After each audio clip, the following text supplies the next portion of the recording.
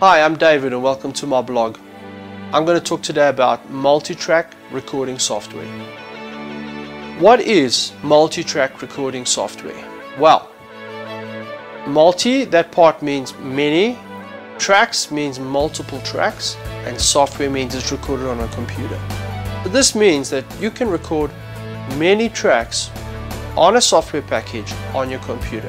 And this gives us an incredible amount of power and control because this gives us as producers and music makers the power to separate all the instruments on your computer.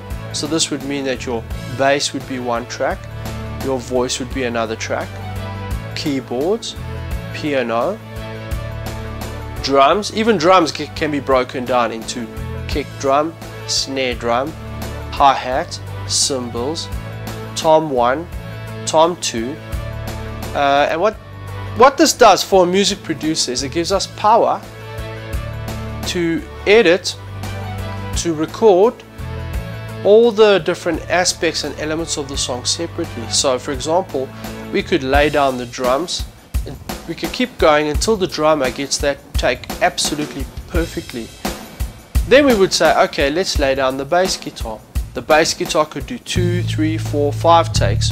We could even edit those takes and say, okay, let's take from the verse 1 from take 3, chorus from take 2, verse 2 from take 1, and we could even copy and paste and say, okay, well, let's copy the chorus from take whatever, 3, and paste it in chorus 2 because it's the same line. And once we got our bass and our drums perfect, then the next step is keyboards, guitars, etc. etc. And usually the last thing that's recorded on a song is the voices backing vocals, harmonies. That's usually the last thing recorded. And then it goes to the job of the mix engineer, and the mixing engineer will take that song, all those elements that I spoke about, the bass, the drums, the keyboards, the guitars, and he'll mix those together to create a final mix. That's the final mix now that we will bounce down into stereo into our master and that master is where we create our CD or that music could be put onto television or onto a picture uh, depending on the purpose of the composition or the song that you're recording. Now let's talk about the three different the three main packages that, that I'd like to talk about today anyway. Pro Tools, Logic Studio and Cubase. What I found in my experience is you know, a lot of guys out there, they, they tend to fight and argue. You know, there's the Logic camp, there's the Cubase camp, there's the Pro Tools camp, and everyone's arguing all the time about why Logic is better than Pro Tools, why Cubase is better than Logic, etc., etc. And uh, I found in my experience that the bottom line, music is music. If you work well with Cubase, then I say use Cubase. There are many, many hits, top 40 hits and number one hits all across the world that have been recorded on Cubase and the same goes for Logic and the same goes for Pro Tools. You know, Pro Tools is, uh, tends to be more popular in the States, especially with uh, rock bands and live bands. Uh, Logic and Cubase are especially uh, more popular in uh, Europe. Um, you know, they have pros and cons. Me personally, I'm a Logic guy. I like to use Logic, but I know Cubase and I, have used Pro Tools before.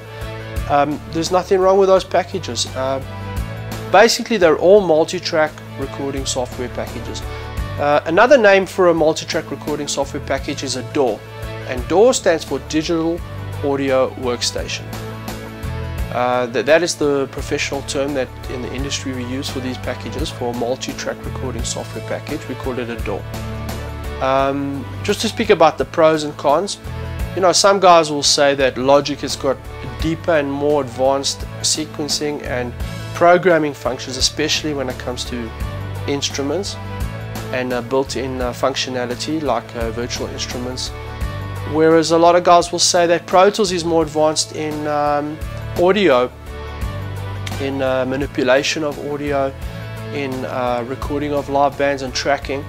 Uh, some guys will claim that uh, Cubase is the best because of the, you know, Cubase invented the VST instrument, virtual instrument plug-in architecture, which actually revolutionized the way music is recorded and made today.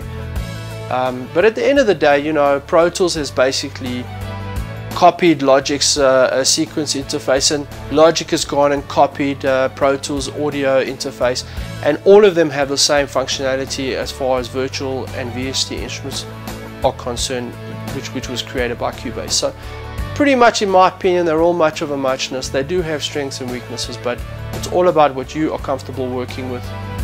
You know, something that I remember uh, my grandmother used to say, a poor workman blames his tools. So too often I find, you know, musicians or producers or guys who are starting out, they think, oh, you know, the reason I don't get good music is because I'm using Cubase and if I only had Pro Tools or if, you know, th for me those are just cop-outs, you know. A lot of top international music, top hits and top 40 tracks are produced on Cubase and Logic and Pro Tools. So, I hope uh, my little talk today has kind of enlightened you a little bit about multi-track recording software and DAWs and kind of opened up your mind to see what is possible, to see sort of the thinking that goes behind the different packages. If you're on one and you'd like to switch to another, I hope you did for the right reasons. There's nothing wrong with switching to another DAW, but don't ever use the software package that you're using as an excuse for why your music is not up to scratch. Anyway, keep well. Uh, I'd just like to remind you, I do have a video blog.